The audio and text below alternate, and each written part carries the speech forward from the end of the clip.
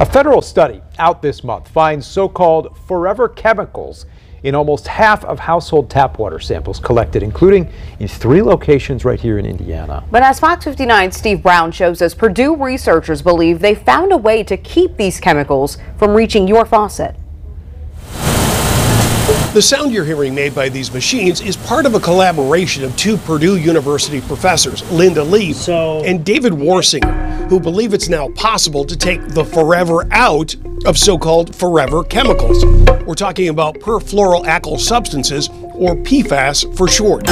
Since the 1940s, this class of man made substances has been used in lots of products. Likely you have some of them in your home right now.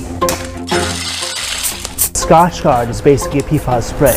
There are sunscreens that have had these compounds. Carpet materials are made out of it. Your Gore-Tex coats, the way that water sheds off, that's because there's PFAS on it. And it's in pizza boxes and some cookware. Oh, and it's also in makeup and lotions. All those things are getting washed down the drain. And there's a chance it's in your tap water.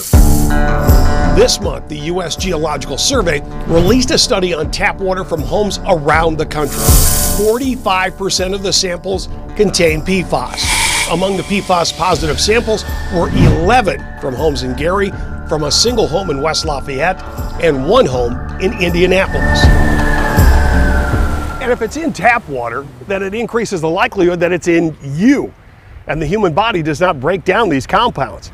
And the CDC notes that a high level of PFAS in people increases the risk for liver cancer, low birth weights in babies, and decreased effectiveness of vaccines in children. So how do we get these forever chemicals out of tap water and lower the potential health risks? The exiting water. Purdue professors came up with an idea, a new type of water filter using elements of a battery and a nanofilter. You essentially have a sandwich, essentially anode, cathode, and membrane all in really close proximity to each other.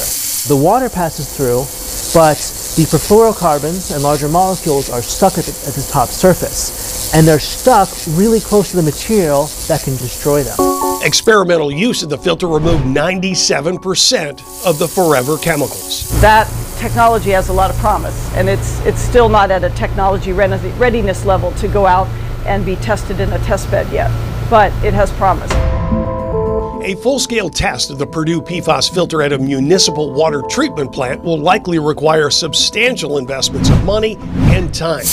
But now there is at least hope that forever chemicals in our tap water may no longer be forever. In West Lafayette, Steve Brown, Fox 59 News. Steve, thank you so much. Such an important topic.